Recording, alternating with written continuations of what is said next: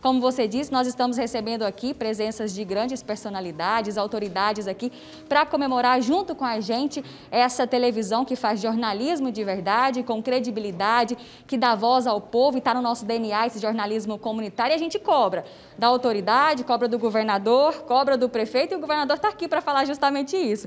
A gente cobra e depois mostra o resultado aí, essa mudança de vida que a gente quer também promover na vida desses goianos. O governador Ronaldo Caiado está aqui com a gente, vai falar um pouco pouco mais sobre a importância de uma televisão comunitária, né, que tem no seu DNA aí a busca da solução dos problemas dos goianos. Bom dia para o senhor, governador. Bom dia, Camila. Bom dia, Luares. Bom dia a todos que nos acompanham aí no Balanço Geral, que é ouvido e é assistido nesse estado de Goiás todo e internacionalmente também, e o reconhecimento do trabalho feito pela TV Record. Como governador do estado, eu posso atestar que vocês nos ajudam a governar. Governar é exatamente ter sempre a humildade em poder saber que muitas vezes você não consegue tudo, mas você tem que ter atenção voltada principalmente àqueles que são mais necessitados e situações de maior vulnerabilidade. E a TV Record tem exatamente essa democratização do seu espaço, fazendo com que as pessoas possam ser ouvidas, as pessoas coloquem os problemas e que nós, ao mesmo tempo, busquemos alternativas, soluções em comum acordo. Sempre, você sabe, eu sempre governei, sempre com o espírito de compartilhar as ações do governo. Ninguém sozinho consegue tudo. Então é preciso que você governe junto com o Tribunal de Justiça, Assembleia Legislativa, o Ministério Público, como também a Defensoria Pública, o Tribunal de Contas do Estado, dos municípios, e junto também a sociedade, ouvindo todos os segmentos da sociedade. Com isso, em parceria com o prefeito da capital, em parceria com o nosso prefeito Rogério Cruz, em parceria com os outros 245 prefeitos no estado de Goiás, para que as coisas aconteçam, em parceria com os nossos deputados estaduais e vereadores, e deputados federais e senadores. Ou seja, isto é que é governar, é poder ampliar as ações de forma conjunta, o cidadão sinta o resultado. E essa é a forma com que eu implantei ao chegar ao governo. Um governo com transparência, a pessoa sabe onde se aplica o dinheiro, e ao mesmo tempo, hoje, as pessoas podem até é, não, não ser, às vezes, até reconhecedor de que tudo que foi feito, mas as pessoas já sentem hoje uma diferença na segurança pública do Estado de Goiás. A pessoa hoje vive em Goiânia e no interior e na propriedade rural, sabe, eu tenho segurança pública em Goiás hoje, ela existe. Então, ao mesmo tempo, as pessoas sabem que, junto a isso, nós temos uma saúde hoje de qualidade. Nós temos uma educação que é referência no Brasil todo.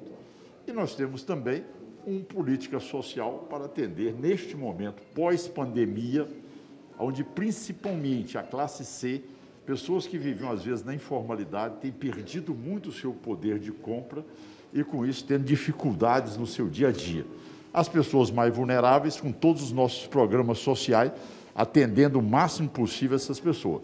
Mas nós temos que entender que ainda tem segmentos a serem atingidos. Mas, ao mesmo tempo, eu quero puxar um ponto aí que hoje é referência nacional. Goiás é o primeiro estado a ter triplicado o número de contratações de pessoas nas suas indústrias. E veja bem, há dois anos atrás, como eu disse, olha, nós temos que priorizar a vida. Muitas pessoas dizem, é, o Caiado vai fechar a indústria, olha, as indústrias vão embora de Goiás. Você vê o contrário. O estado que mais cresce neste momento e que mais contrata é o estado de Goiás porque as indústrias sentiram respeito à vida, mas ao mesmo tempo todo um protocolo de segurança para superar a pandemia. Agora, o trabalho dos jornalistas, né, e aqui são jornalistas que estão nas ruas 24 horas por dia, também nos bastidores, né, nosso trabalho começa aqui na produção, na redação, é importantíssimo para fazer essa ponte né, entre o que o governo está fazendo e esses telespectadores e o contrário também, né, mostrar o problema do telespectador para o governo, que às vezes não consegue estar em todos os, os municípios e conhecer todos os problemas, né, Caiado? É isso aí, é, a cada momento a gente podendo mostrar, como estava mostrando agora pela manhã.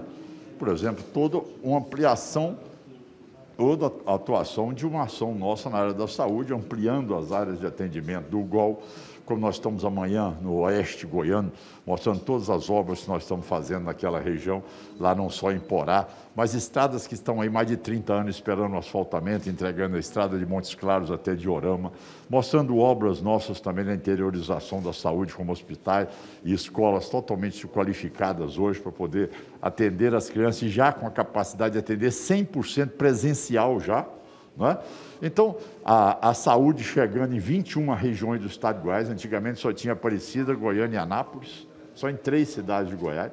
Hoje nós já temos 21, 21 cidades com UTIs públicas e condições de atender o paciente. Então, eu acho que é isso é que é governar, é prestar conta e, ao mesmo tempo, correr naquilo que é o mais importante. Às vezes você tem que ter, graduar a importância da demanda e saber atender de acordo com a necessidade e também dar voz àqueles que não têm uma representação, que são os mais vulneráveis.